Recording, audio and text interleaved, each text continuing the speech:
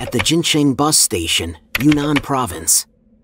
The bus station buzzes with activity from early morning. The bustling crowd, the blend of shouts and car horns, create a characteristic symphony of the town.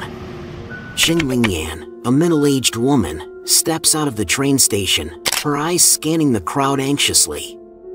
In her haste, she catches a glimpse of a small, elderly man, about 50 years old, sitting by the roadside selling ostrich meat. He sits in front of a wooden chopping board, laden with fresh cuts of ostrich meat. Around him, several people are haggling over the price. Xing Lingyan only manages a quick glance before continuing on her urgent journey.